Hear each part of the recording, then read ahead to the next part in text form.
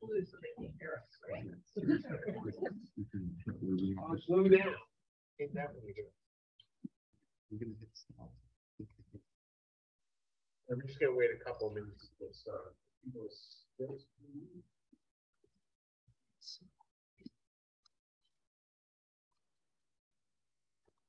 We're not sharing your, your screen on Zoom. So that's the screen. Oh, choosing-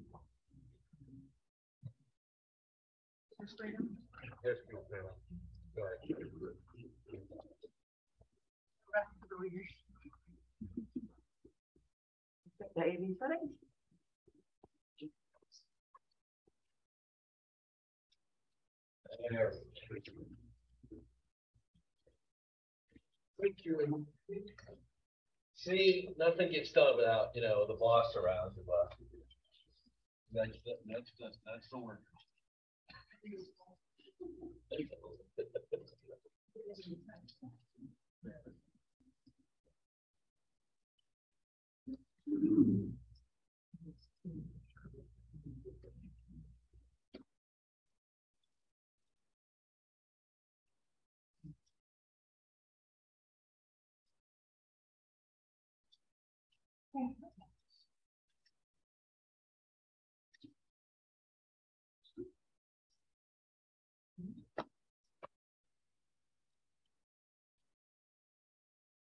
Right, or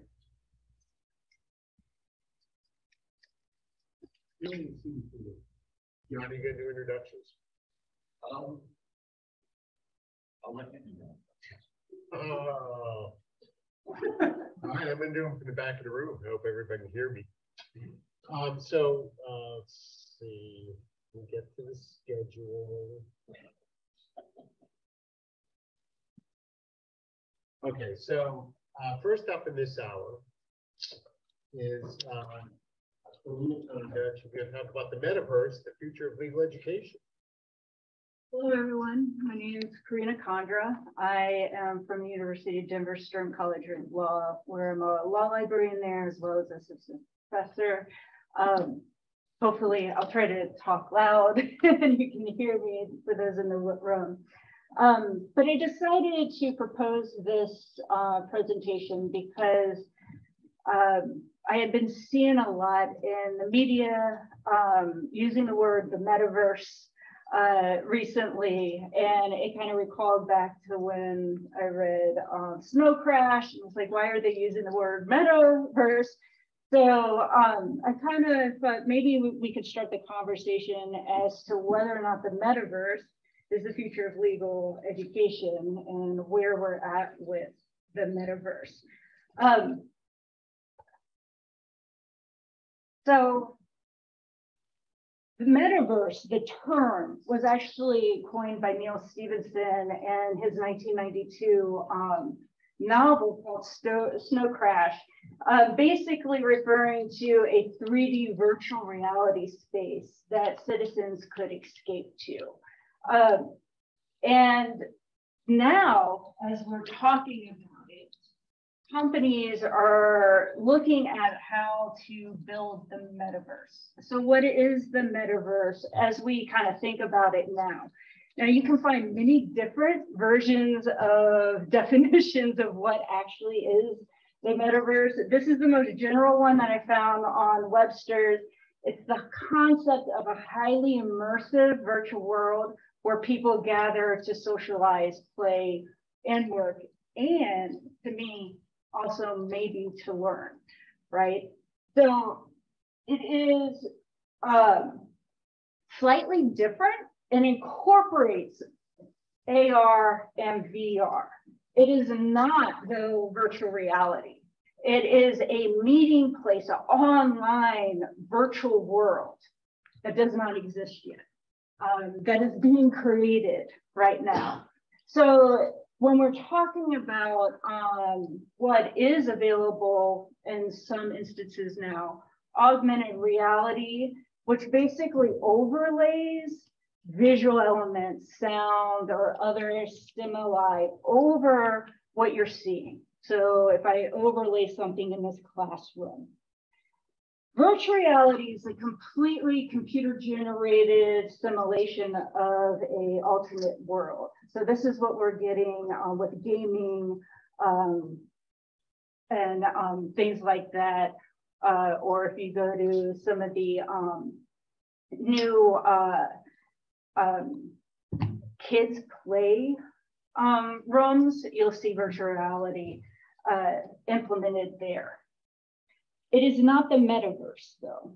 The metaverse incorporates AR and VR um, technologies and realizes a world where different universes can um, communicate together.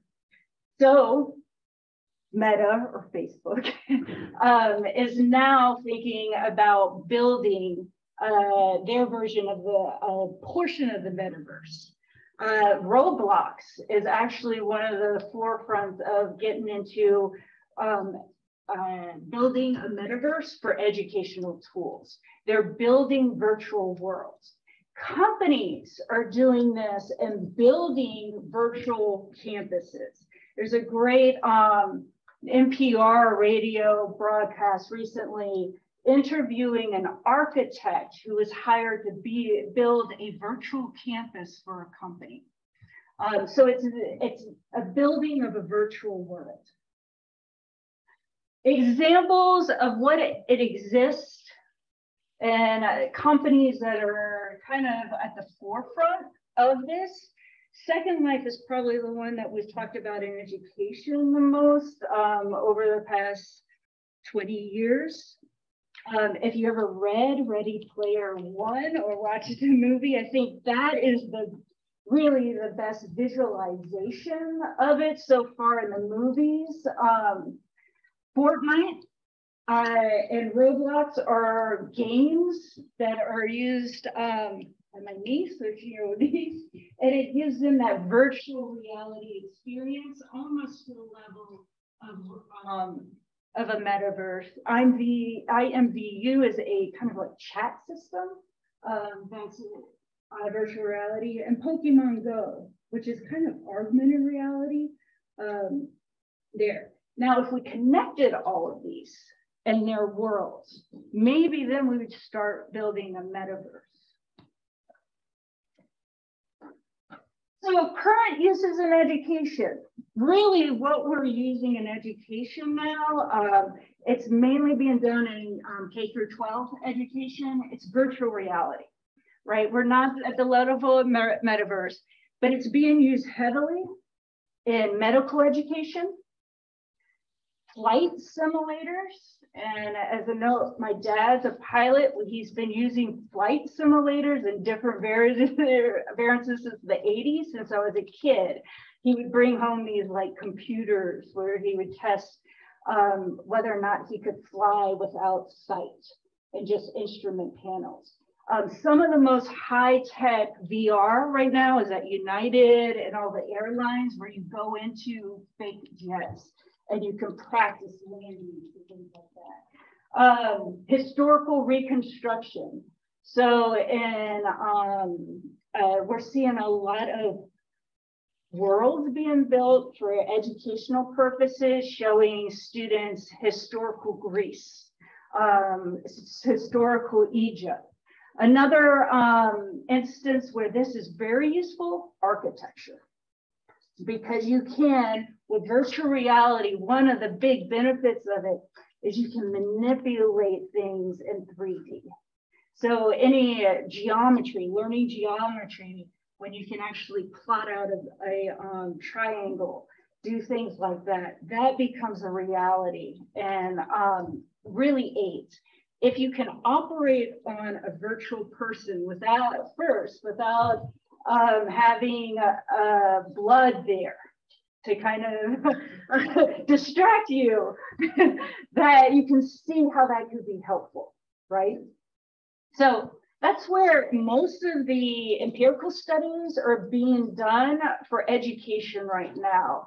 Um, if you were to look at um, studies about how the, this um, virtual reality is being used and whether or not it's effective, it's in these areas. Not really, I didn't see that much in the law yet. So what they have found with um, researching this, both on higher education level and um, K through 12, the strengths are you're giving the students a, a chance for active learning. You're taking them out of the classroom, which increases student engagement. You're not physically taking them out, but you're allowing them to move and um, and kind of um, work within an environment outside of just a desk. It has been shown to improve memory retention and recall. Um, they're able, especially in historical settings, to recall historical facts because they felt like they experienced it, right?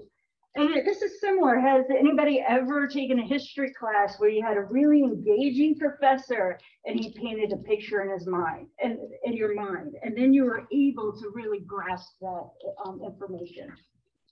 Another thing, you practice in a safe environment. This is really helpful for pilots. uh, if you're going to crash land, it's better to do it in the virtual world than um, out in practice. Um, although I'll get to some of the problems with practicing in a safe environment. Um, so that's what the research has shown has been the benefits of these. Current uses in legal education.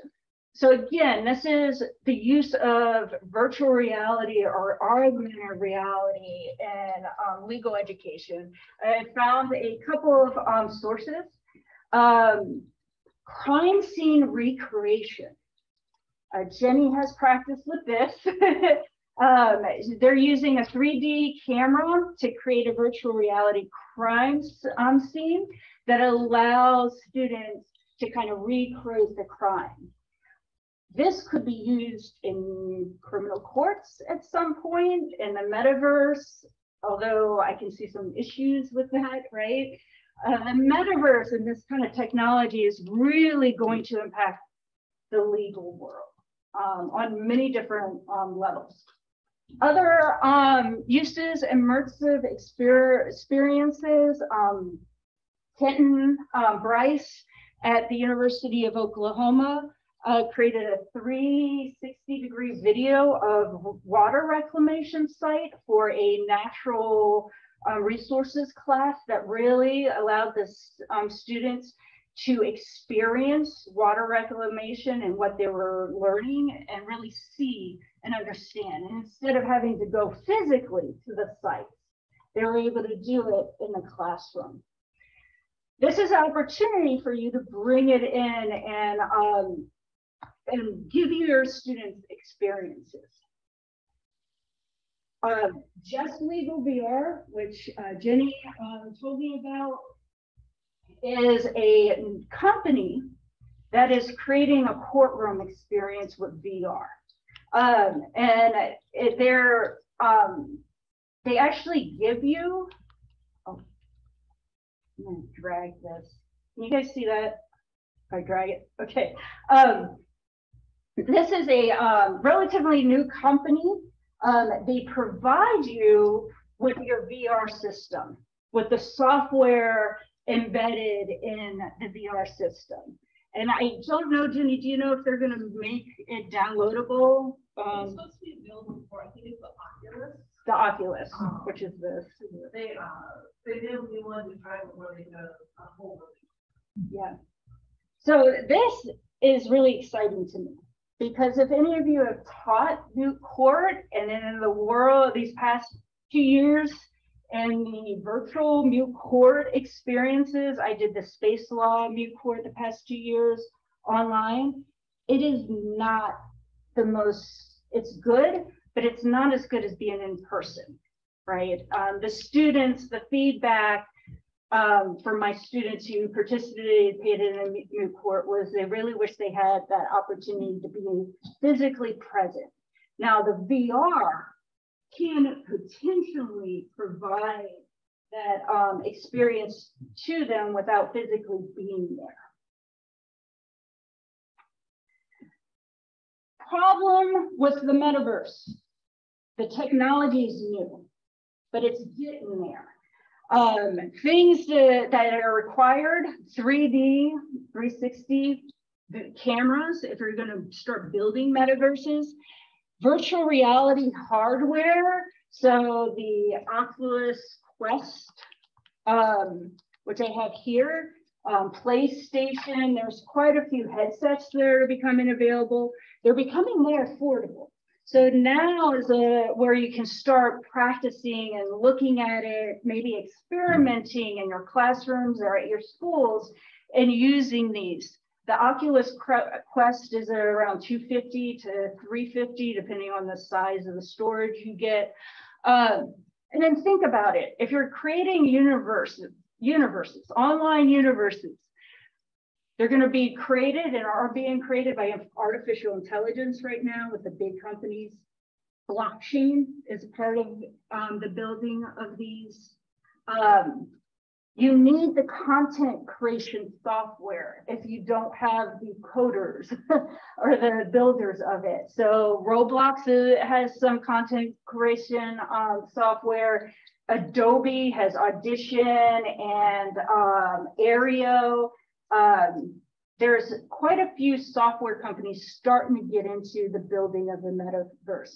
But generally, it's being done right now by big companies like Meta, who have their own um, teams that are starting to build this. So I think the technology for law schools is one of the barriers, right? The cost of it, but not only the cost of the hardware, but the people and the manpower of it and having um, that. So barriers and concerns um, with using the um, uh, with implementing the metaverse in legal education needs to be built first.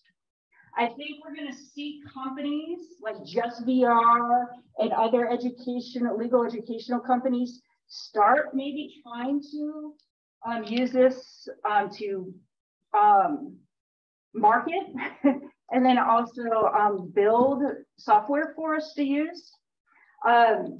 It requires substantial, substantial computing power. I don't think we're anywhere near where we need to be to actually create a real metaverse, right? And the cost is prohibitive.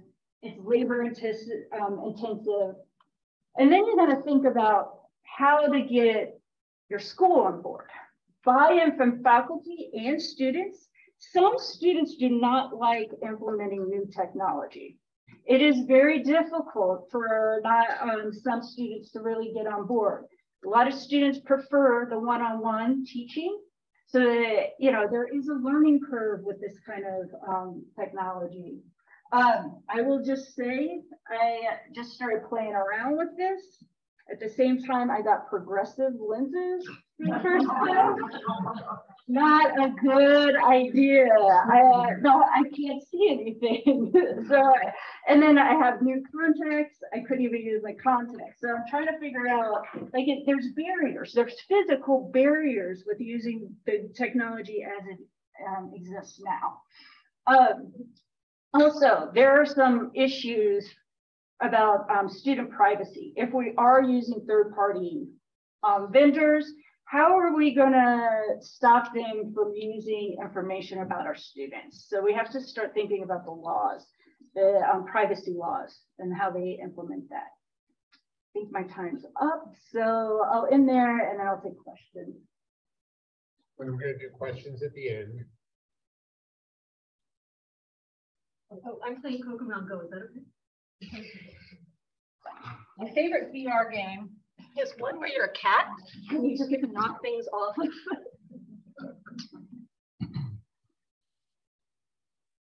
Screen share still happening here? Uh, should be there somewhere. I think I just closed out my. Still good. Yeah. Oh, eventually it's what I want. Next up,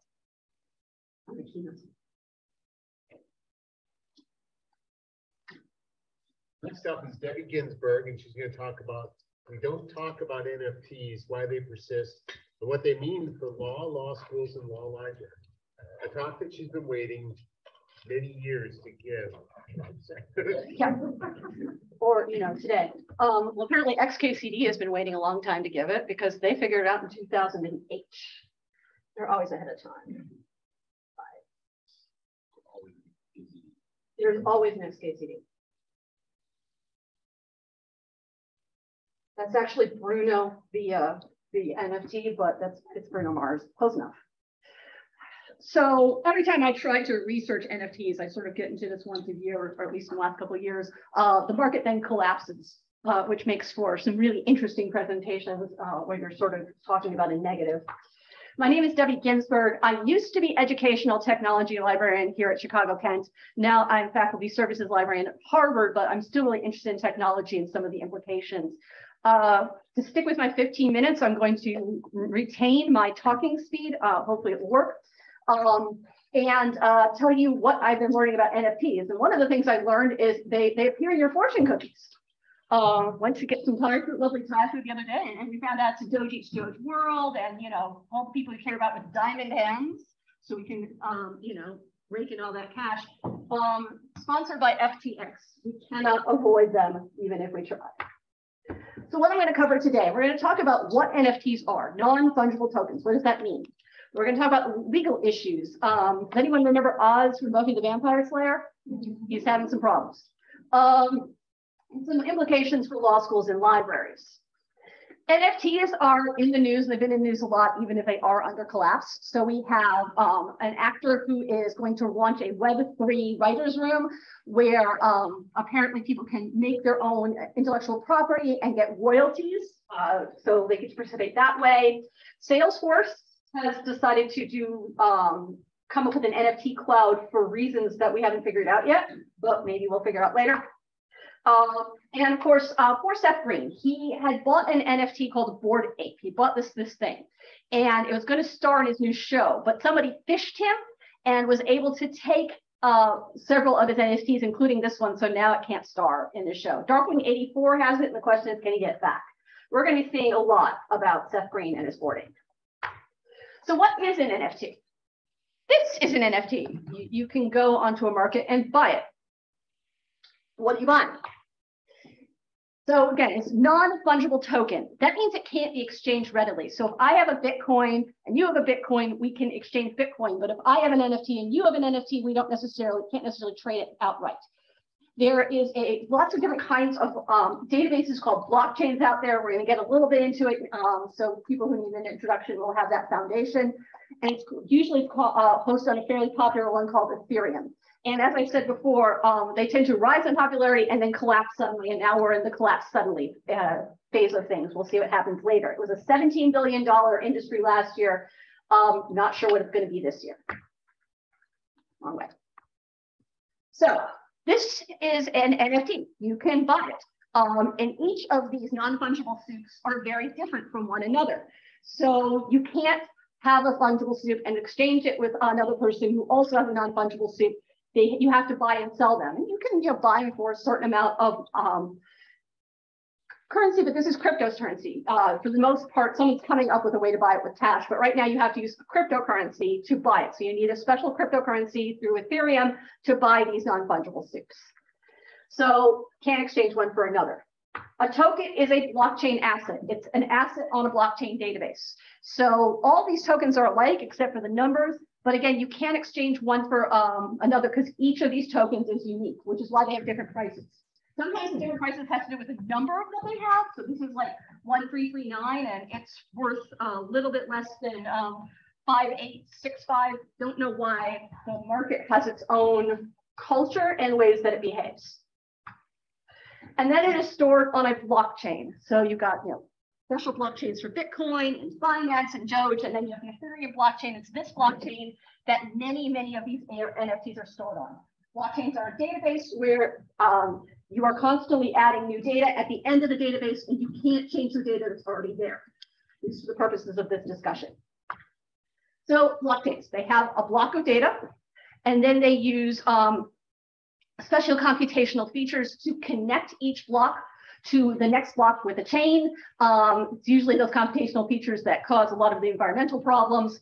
And then there generally tends to be many, many copies of the chain, uh, the blockchain that different users have access to um, and they can compare it with one another. So this is how we keep these uh, blockchains secure. The information not secure is you use the special computations uh, in the chain, keeps those blocks secure, then everyone that is involved, it can be anyone who, who wants to participate, there's no organization involved with many blockchains, uh, can take a look and compare and make sure that the data on each of copy of the database is correct. And that applies both with what we know as cryptocurrency and with assets like NFTs. But cryptocurrency is not Bitcoin. So Bitcoin has its own database. We sometimes call it the blockchain. And there's, you know, anyone can download a copy of the blockchain. But in general, the Bitcoin database is used just for Bitcoin. It's not used for other things. So people don't put NFTs or other assets on there. They needed a more robust blockchain database to do this. They need a more robust database. So they usually use Ethereum, which can run programs. It's also a cryptocurrency and it can store assets like NFTs. And they're very excited about this because this is where most NFTs are stored. So it's just one of these blockchains um, and one of these types of blockchains that has taken over most of the market. And that's where you're going to find them. You can buy um, your NFTs freely if you want, um, if you've got cryptocurrency, uh, through markets like OpenSea. So OpenSea is a market lots of people uh, can create or um, buy their NFTs there. They like to feature new artists on the front page. Um, it generates a lot of uh, hype and um, it's a you know it's the most popular place right now to buy it. And most of generally these are going to be on um, Ethereum. I think they all are. So let's talk about some specific NFTs. This is a Bored Ape. All these are Bored Apes. The NFTs generally uh, uh, come around a pattern, and then um, someone has used an algorithm to generate many, many different variations on that pattern. So you can see there's lots and lots of different kinds of Bored Apes. And until I think today, I think there's a new number one collection today, but generally Bored Apes are the most popular collection for some reason. So Ethereum, which was uh, 1795 when I looked a couple hours ago, um, dollars, um, you know, this is a hundred them, so it's like, you know, nearly $180,000 to buy this Bored Ape, but you have to purchase it with 100 Ethereum uh, coins instead. So, but, and you can purchase any of these different ones or sell it. So you can see this one was last sold at 35 and now it's 98. So someone's really, really hopeful that they're going to make a lot of money out of this. Um, and this is the collection that uh, Seth Green lost. You can also, buy, uh, there's an NFT restaurant. Um, you may see something's missing from this um, menu. Um, the restaurant doesn't exist yet. The NFT lets you have the right to make reservations. Sounds great. Um, you can, there's a singer from Europe who's selling scans for, for different body parts, so you can collect them. Collectibles are really big on NFTs. Games are really uh, getting uh, into the NFTs. Sometimes it's for an object. Sometimes in this one, you get to, uh, the NFT gets your right to have a say in where the game goes next.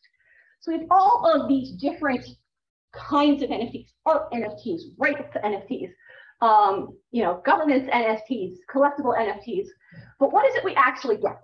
So if I get the Bored Ape and I buy that NFT, do I have the file that has the Bored Ape in it? Do I own that file? Can I do what I want? No one else has that file. If I get the game, do I have code for the game? Uh, that's you know my part and no one else's. Restaurant? Do I have some aspect of the restaurant or the body part? Do I have the scan? And the answer for almost in almost every uh, instance is no. I don't have any of that. I have a little bit of data about the object, something that says I have ownership, and then I have a link to an outside server that where the object itself is, or where in other information about that object is. So all I have is some information. This is what I have. I have this little tiny bit on this database. That is what I have if I buy an NFT. And all the other people this, this, this, this, this, this, yeah, that's what they have. You don't have a thing.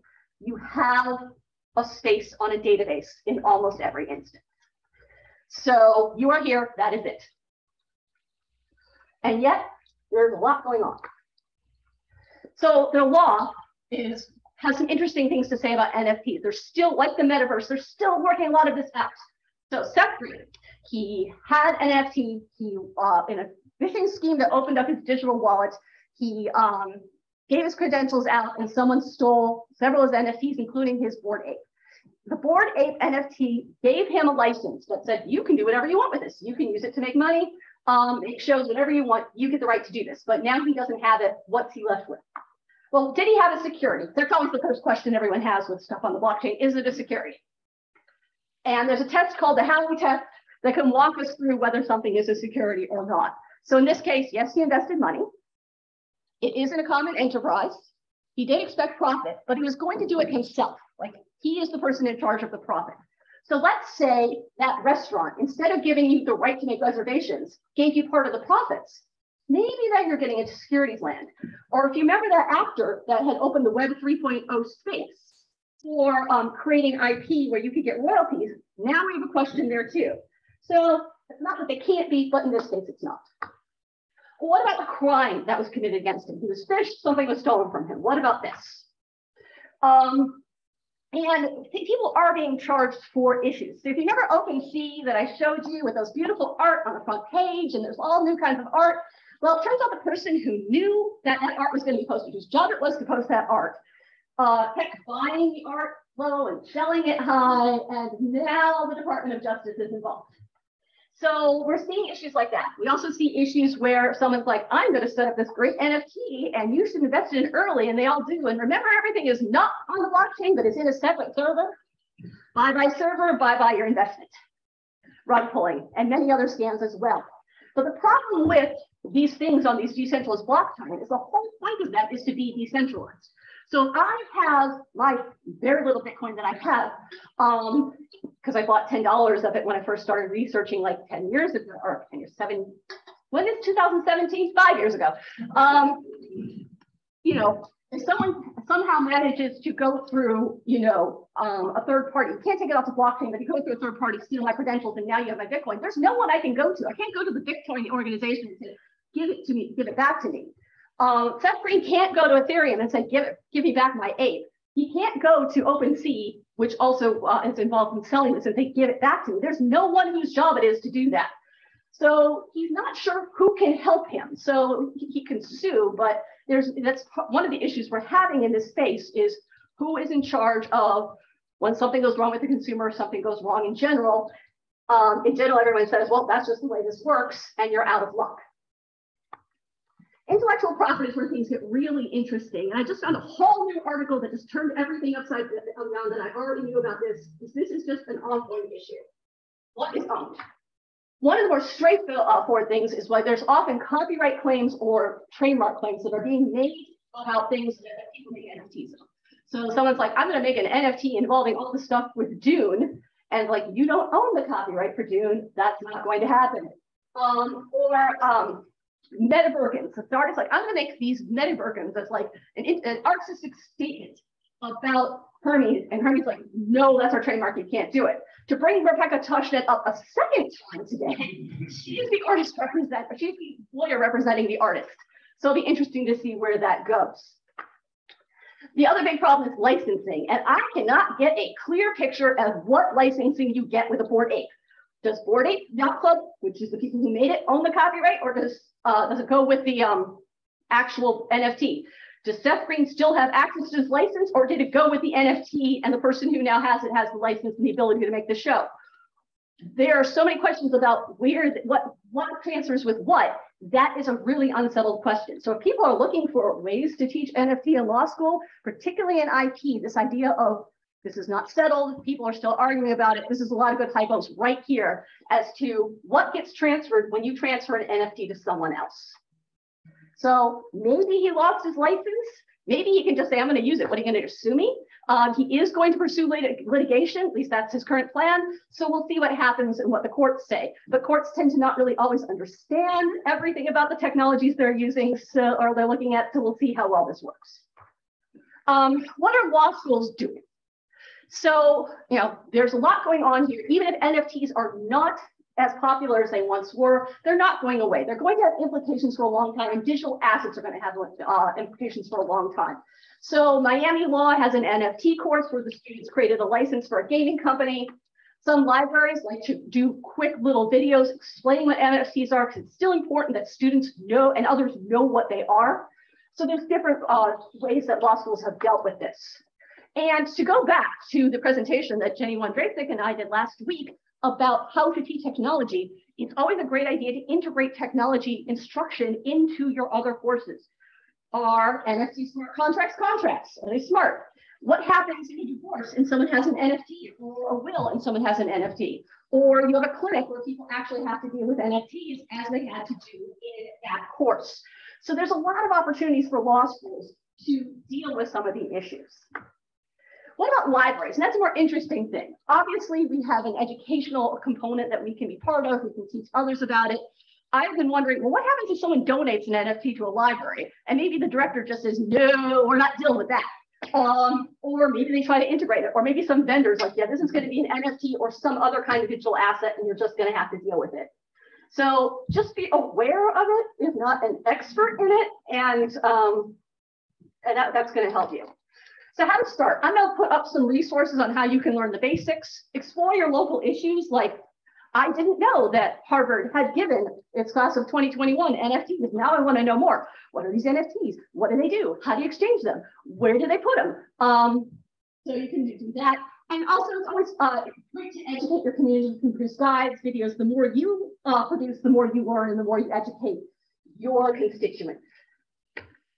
Because if you don't do it, students will. Literally, a student has posted their contracts outlined as an NFT in OpenSea no one's buying it, but it's there. So they're getting it to, if they're already there, we need to be there too. This is also going to have long-term implications as there could be another rise. We're seeing NFTs in games, an object you can take from one game to another. We're seeing it in the metaverse where uh, different parts of, you know, it could be a company that has many, many different parts and something you buy in one part of the internet space of this company can be used in another place. Somebody might be saying, okay, I'm going to give you, let you buy NFTs that are, let you have rent rights to this building. Well, that's going to be interesting. How does that work? And what are the implications of the digital wallet where the NFTs are stored? Let's say something put something in your wallet that you don't want there. Now what do you do? So there, this is not going away. Even if NFTs themselves are not popular, there are long-term implications for digital assets that we need to think about. So I'm wishing us good luck in this Doge Doge world of everything with NFTs. You can't escape it even at a restaurant. And I'm hoping, or at least my cats are hoping, that maybe you have some questions for us, for me, well, the cats too, um, at the end of the rest of this presentation. Now it's time for a video. How do we put the video? Turn off the share screen. Stop share. Thank you. Okay.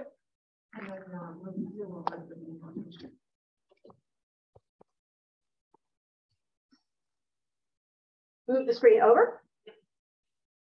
Out we go.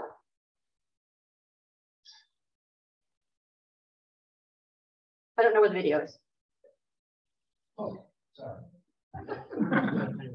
Actually, it's not a video, it's actually a live person. Oh, another person?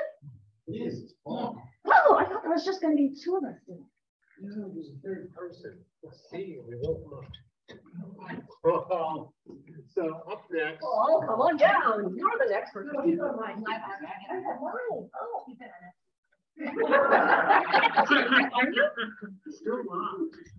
Um, so, uh, so, so up next, um, with his session, Black Mirror, the one, two, threes, and ABCs of digital well-being. Or he's a right click on him and hit him. We'll just need to share a screen. There it goes.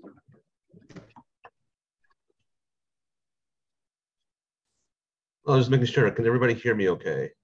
Yes. Thank you.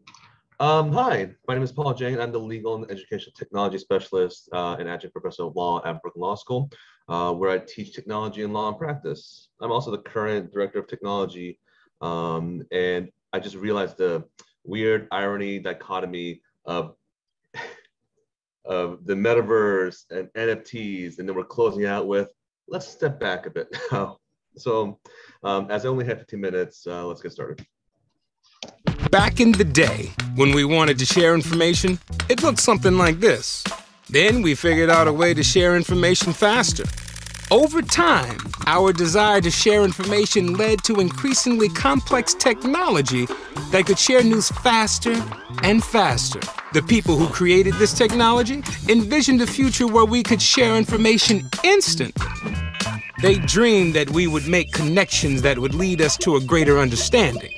Funny thing is, the more connected we are, the less we want to hear what anyone else has to say. Guys, dinner's ready. Dinner!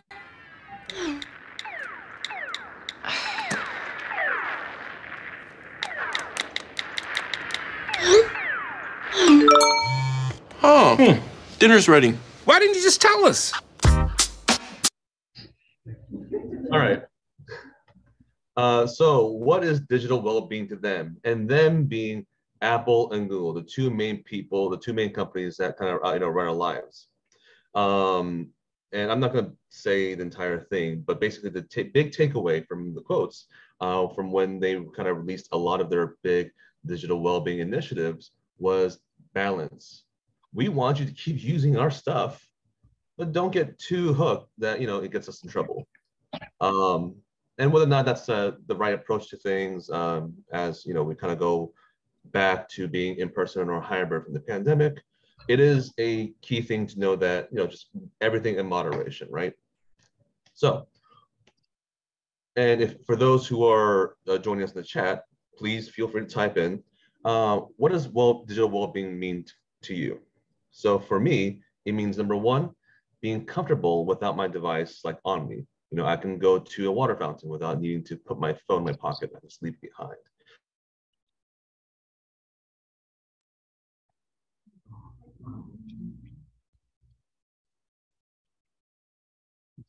Two is destroying the multi or YouTube or Instagram, right? Um, and then the, for me, digital well-being means not going over 274 flips. I have the Galaxy flip phone, right? So I open it up, close, open, close.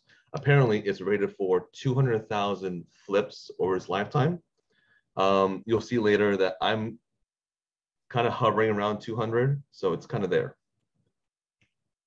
So for me, uh, we're going to divide it up. The ABCs of digital well-being is alerts, blue light, and control,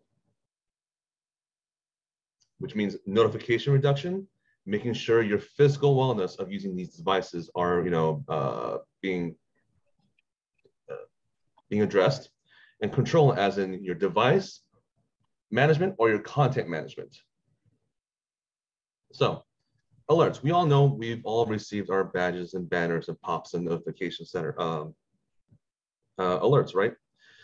In addition, all the other, alerts that come in are things like spam calls or just people who call you all the time. Now, whether or not that's a call that you actually want or not, just know that it's still something that brings something to your attention. And kind of addressing whether or not I need to know this all the time, but not all the time, right? Maybe a good example is you see these notifications from Twitter or YouTube or other applications that says, that pushes out notifications saying, hey, this might be interesting to you, but do you really need to know that all the time? Like in comparison to when you get an email. So how do we reduce our notifications, right? So uh, a lot of people have iPhones, uh, and I'm sure everyone has used a do not disturb function, whether in a meeting or whether in like a you know bedtime setting. So you can, in addition, you can ad adjust in the, alert style of notification sounds, meaning do you want it to be intrusive? Do you want to come out as like a banner system? You want to make that notification silent? And then uh, when it comes to spam calls, contact your carrier for spam filter directions. Um, carriers usually have it on default these days, like T-Mobile. AT&T has it where it's automatically named as telemarketer or spam risk. But now, please know that all three of the big three networks work together to reduce spam calls. Um, going back to the adjust and alert style notification sounds, you know, take it from me. At a certain point, I used to get very anxious hearing the Outlook notification sound.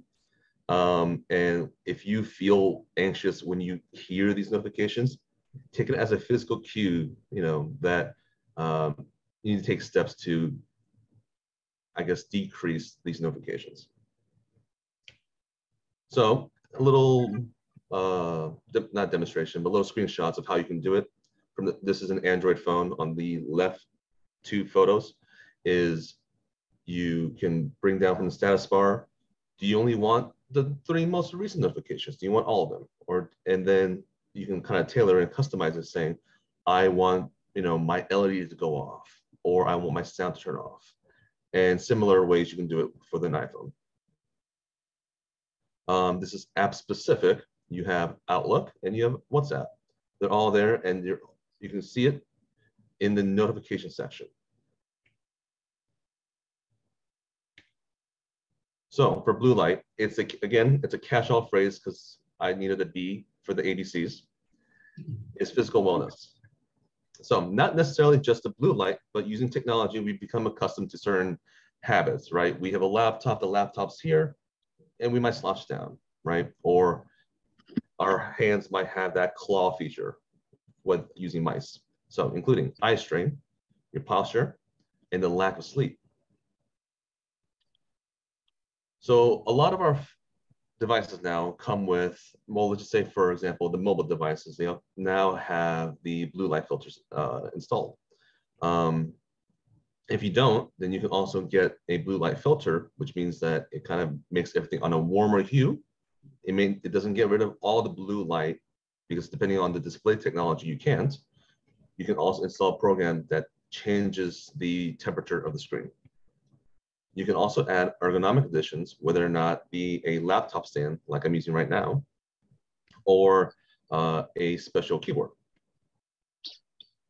In addition, depending on how you have your screen set up, you can use a scale display, meaning you can have things zoomed in by default or a little smaller if you like to, to reduce your eye strain.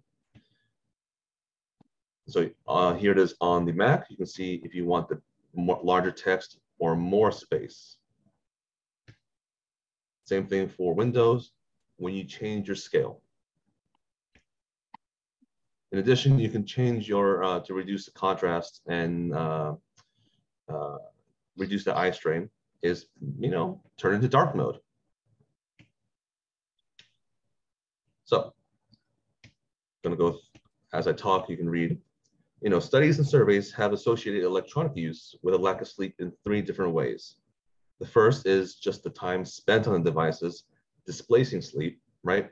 So I do a bad thing called revenge sleeping, where I um, don't go to sleep because I come home late and I want to do fun things, so I don't sleep. Um, so that also includes like electronics device use. Number two is the media use just as a rule excites and stimulates the brain, right? So if, if that's the point, then you're just not in a headspace where you can go to sleep because uh, you're so worked up about something that you read on Twitter. Uh, and who hasn't doom scrolled before? And three, and it's a little more controversial, as I mentioned before, is that the idea that the light emissions coming from the screen affects and straining eyes, you know, causes a lot of changes to your eyes, you know, AKA the blue light. But that being said, um, blue light filters are, however, very effective to create a physical cue of time to sleep, right? Like, oh, hey, my things came on. Maybe I should kind of start winding down now. Um, and, you know, as the kids say, you know, go touch grass. What I'm showing here for those who are in Chicago is on the leftmost is the date, sunrise, and sunset. So if you have time, you know, just go outside, get some vitamin D. Uh, here's the sunset times for Chicago. All right, and going to the C is um, device management. So taking affirmative actions to reduce your actual usage on your phone, be it hardware, software, or apps. Earlier, I mentioned moving the, um, you know, how I had a muscle memory going, I open my screen, unlock, I go to a certain app, right? So move the app away from the home screen. Just create that extra little step. That's, that's the visual representation. Take that extra step and you don't have to automatically click it every single time. Um, you can also might think about using specific use hardware. right? Bring back that Kindle if you, want to read it you know, instead of on your phone or your iPod, like an actual iPod for music. Um, I can see how it's very impractical, but you know, you have the added benefit of confusing Gen Z students. uh, and more, you know, severely and maybe not the most helpful, right, is installing self-control software. Self-control software includes things like, you know, um, screen time. And these specific software, self-control is for Mac, rescue time is for the desktop and mobile, both, both sides. Cold turkey is for Mac and Windows. Freedom is on an extension for the browser and iOS. And these programs help you say, you know, I want to spend only this time, much time on a program or this much time on a website. And you can set, have those settings and make it so that, you know, it'll take a lot to deactivate the program. Um, think of it as a weird kind of little sponsor for digital detoxing. So this is a approximation of my screen time for my own phone. On the left is my daily average screen time, which is not great, right? Uh, in the middle is the notifications I received. Let's ignore the clock uh, for 251 notifications received for the clock because that's the morning, but we can focus on the 100 emails I received or the 84 text messages I received, right?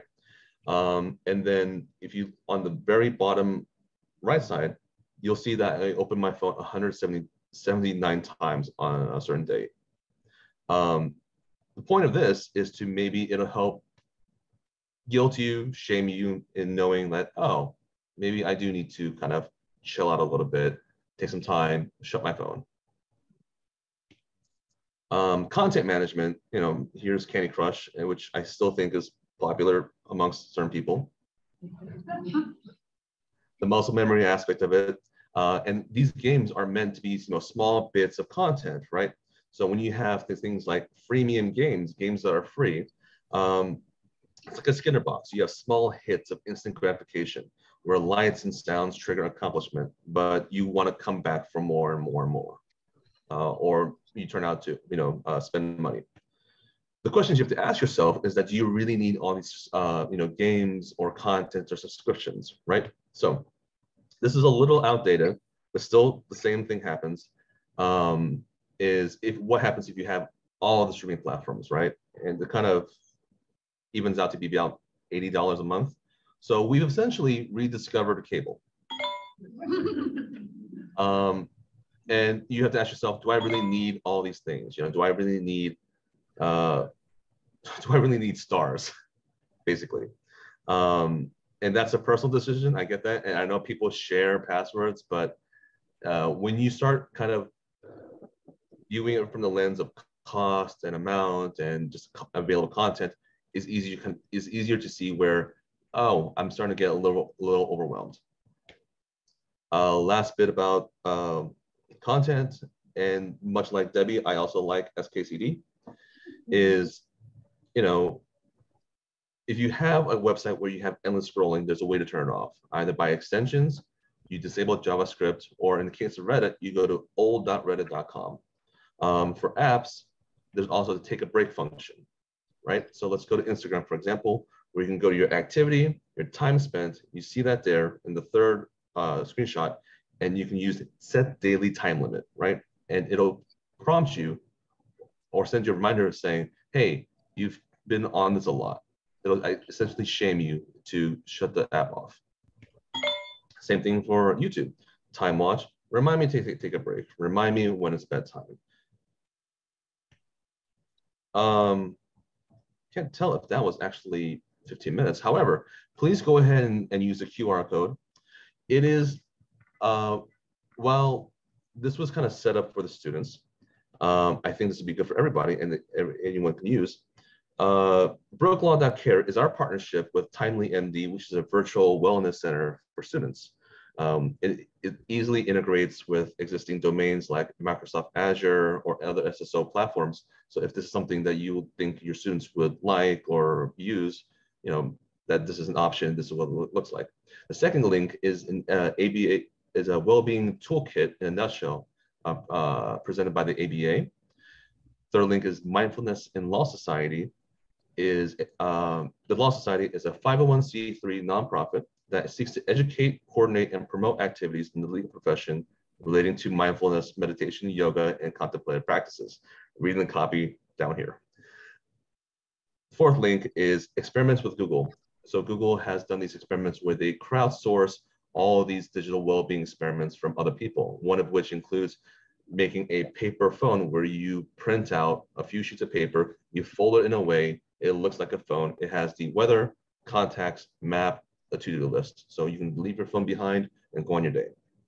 Um, fifth is a Wall Street Journal video where people can, uh, there's a Wall Street Journal video of an ergonomics expert saying, this is what you need to do to have good physical posture, presence, and working environment.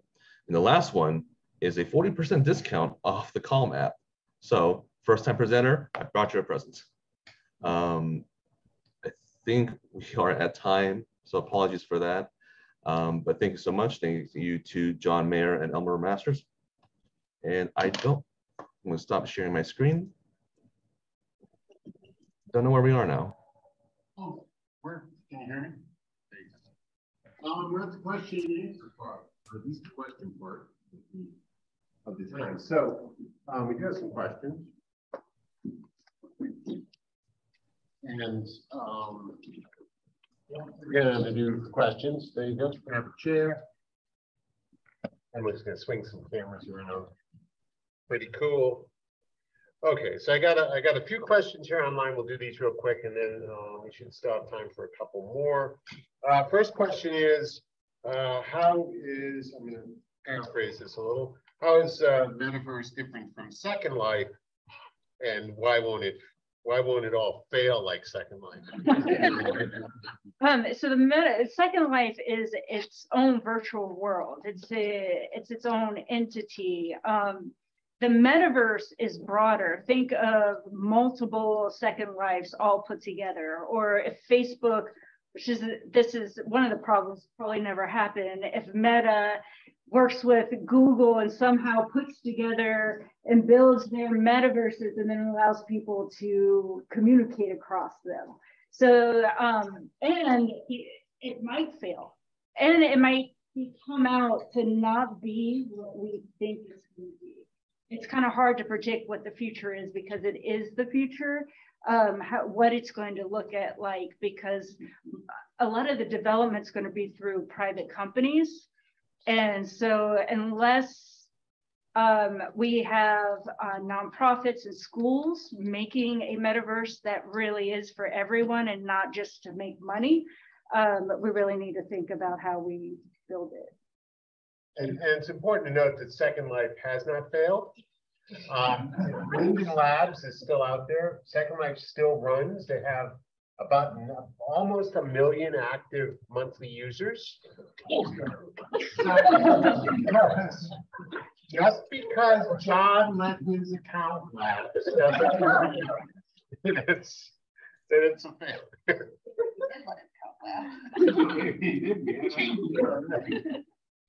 Um, okay, and then, uh, one more question, uh, this one, uh, also about, uh, I guess also about the metaverse, yes. Um, any thoughts on a possible legal system in the metaverse comparable to our real life legal system? I.e. laws, court system, lawyers, judges, jails, etc. Um, this is something that probably needs to be talked about uh, as a legal profession. I can see it being developed, but there's hurdles. If you've ever worked as a law clerk for an elderly judge, there's they probably are not going to like it. There are serious privacy issues at having court in the metaverse um, and um, you know having sealed documents being presented in the metaverse unless the government builds a portion that's highly secured. Um, but I do see that it, it could be a possibility in the very, very long future. So I'm thinking like 20 years. Um, but we need to start talking about it now and experimenting it with it to see, and talk about the ethics of it and the, the problems with it.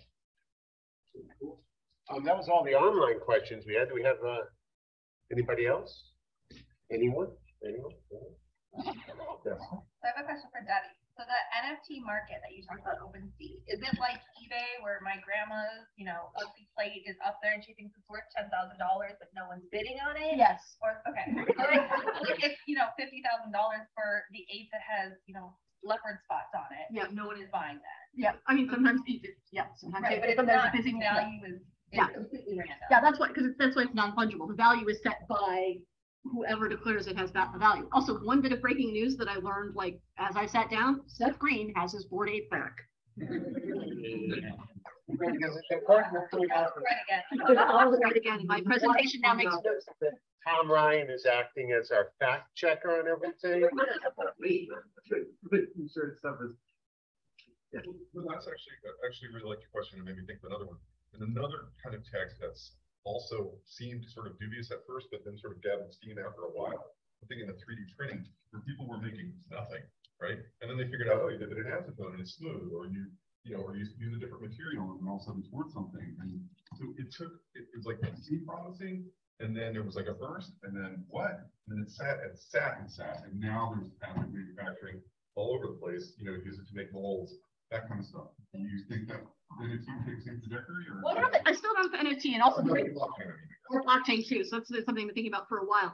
Also, one of the things about three D printing, of course, the cost has come down. Like, yeah, I could buy, last year I bought my son a three D printer, which he doesn't use. For, for hundred and fifty, where like before it was like, you know, seven hundred thousand dollars, so. What? Yeah, sure. Um, and then, but yeah, so the blockchain, the thing I like about blockchain in particular is the idea of this immutable database, which is not necessarily in the uh, control of the corporation. So people are thinking, oh, okay, maybe we can put identities someplace more secure than we have now. It doesn't look like the block, a blockchain is the right way. Maybe something else decentralized. NFTs, the idea of a digital asset where people, you know, have ways of, of exchanging it um, outside of normal channels may be interesting. NFTs as they're done now, it's like the blockchain. It's got so many problems. The people who are in control of it are so problematic. And of course, there are the huge environmental issues as well. So it's hard to say something's decentralized when it's actually in the control of a very limited set of people who have their own very precise and specific um, set of ideas and, and agendas.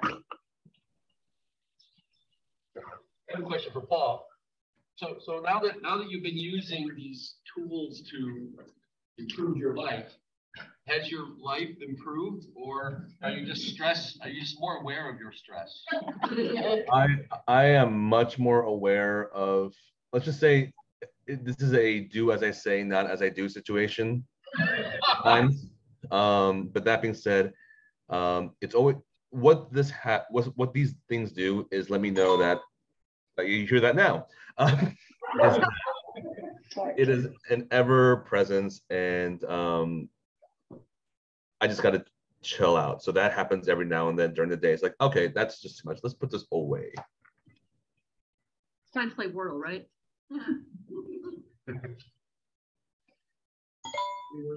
I have a question for Paul.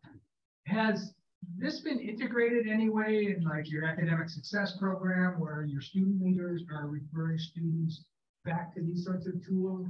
Um, I doubt faculty are mentioning them unless somebody's in crisis. I'm not exactly sure for our like um, our ASPs, um, but however, you know, we do sessions in our library for like drop-in sessions. And you know, I give this presentation, we give the discount, and we let them know of our wellness section. Right? It's also been very difficult as we get back into the swing of things uh, post-pandemic, and you know, this will be the first, hopefully, you know, knock on wood, real in-person back, right? And at that point, this shift would be less from virtual and more in person. Um, and where the virtual uh, interactions are with like OCI or interviews or other competitions. Um, so we're kind of still assessing what that's going to look like in the fall.